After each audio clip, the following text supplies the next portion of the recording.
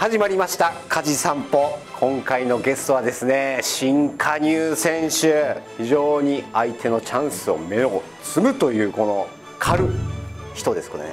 結構闘争心むき出しで非常に気の強い選手なのであの梶明もしっかり闘争心むき出しで、えー、トークを引き出したいと思います。今の牛はえー、この選手が闘争心むき出したということで、えーと、闘牛に代わってこうやってやってたんですけどこれを説明してる俺が情けないわ。さあ行ってみましょう。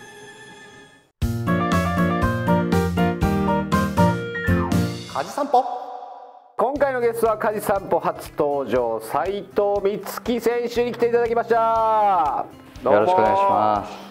こんにちは。こんにちは。練習終わり疲れてるところありがとうございます、ありがとうございますまあ、今シーズン加入して早くももうね存在感を発揮してくれてると思いますけどもまあいろいろこれからあの聞いていきたいと思います、はい、まずでも俺初めまして本当の初めましてやね。本当の初めましてですね。どこでもお会いしたことないかもしれないですね。挨拶もしたことないもんね、はい、ないですないです。多分ないと思います。えガンバに入ってくる前のガンバの印象ってどういう感じだったの？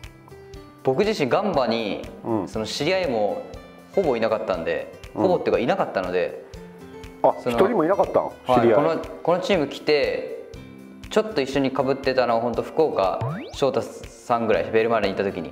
うわ一番一番絡んだら赤いやつと絡んでるのそれもしかしたら。でも湘南の時あんなんじゃなかったんで結構。えそうなの？うわ怖いなあの人。二面二面性があるっていうこと はまあ高卒かなんかで入ってきてたんで湘南に、うん静か静かではなかったですけど、うん、よく怒られてました。俺でも斉藤選手のあの全然喋ったことないからどういう選手っていうのは内面的にどういう感じなのかが全然分からなくて、はいはい、自分で言うならどういう性格なの？え僕はでも結構おしゃべりっていうか誰とでも話すの好きなんで。あそうなんはい。そんな誰かに対して、まあ、ずっと静かにしてるとかもないし一人がずっと好きってわけでもないんでまあ、選手とよく話したりしますか、ね、今仲のいい選手は誰？よくしゃべる。いやよくしゃべるの。でもみんな周りに話しますけど今はでも若い選手とかは年が近い選手、まあ、陽太とか、うん、えー、浩平とか、えー、優也とか、まあ、陽太が僕陽太が僕同い年なんで1個下が優也、うん、優也とかなんで。ああ宇宙人的な感じのね ちょっとね。そうそう。なんででもみんな結構話し藤原さんとかも結構話すし。ああ全員宇宙人みたいな人 宇宙人みたいな人よく話すかもしれない。でもチームに溶け込んできたっていう実感なんかこうプレー面とかプライベートで何かある？ああでも今やっぱコロナ禍でこう食事一緒に行けたりとかあそうか。何かをこう一緒にするっていうのは本当クラブハウスに来て以外は本当にほぼない、うん、ほぼないっていうかないんで、まあ、本来だったらこう若い選手連れてご飯行ったりとか先輩に連れてってもらって一緒に行くみたいなのは僕自身結構好きなタイプなんで。えどっちかってあの先輩風吹かせる吹かす方いやなんかいやでも本当1年目2年目の時とかはずっと先輩にくっついてああ本当おおごってもらって。おごってもらって。みたいな。なんかご飯の話したら「え俺もいいっすか?」みたいな感じで言ってあなるほど、ね、結構は入っていくタイプだったんですけど、うん、でも最後湘南の最後の方とかは、うん、逆に下にあの谷康生とかが入ってきてああ谷君ね。だほぼ毎日康生とかを連れてご飯行くみたいな感じでしたね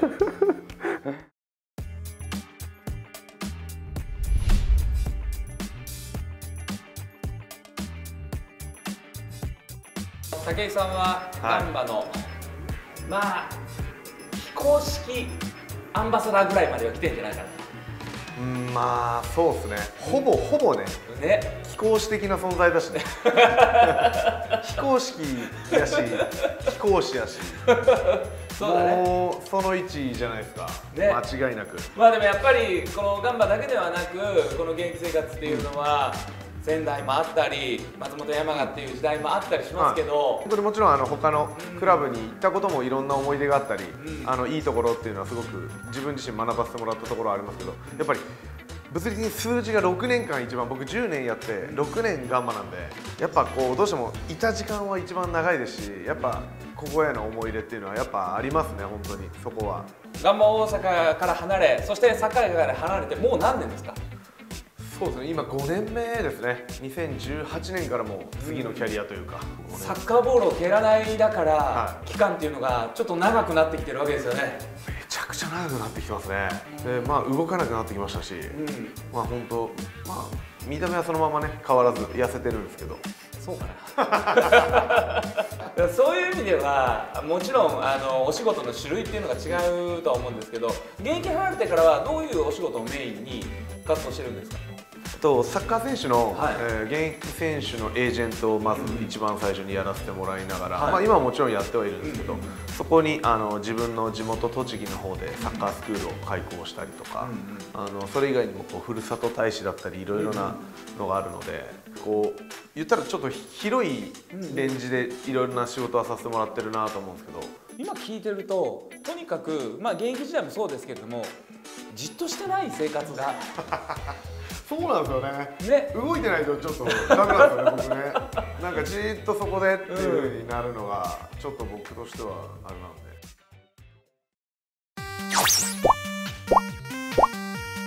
アジ散歩？結婚報告なんかはいはい。しました。やべえで。デジ？ッチそうやデジッチでしました。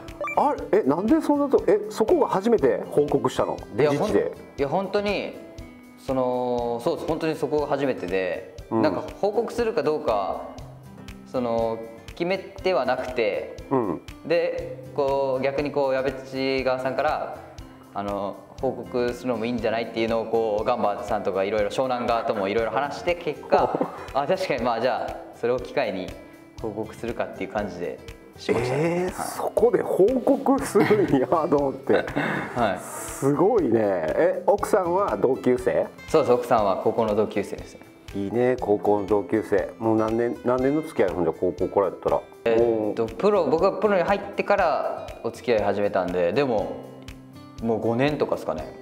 はあ一途やね、はい、ねすごいね。やっぱなんかそのままやね。なんか真面目なそう真面目そうな顔してるもんね。いえ真面目ってよく言われますね。でも普段どういう生活なの？普段は。奥さんも休みの日はもう奥さんと？まあ今は本当そうですね。ちょっと出かけたり散歩したりっていう感じ多いですね。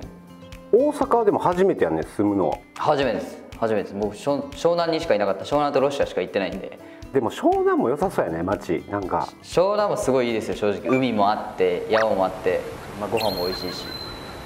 もう真逆やもんねこっちは。海がないしもうお笑いしかないもんね。いやいやいやでも住みはめちゃめちゃ住みやすいって思いますけどね。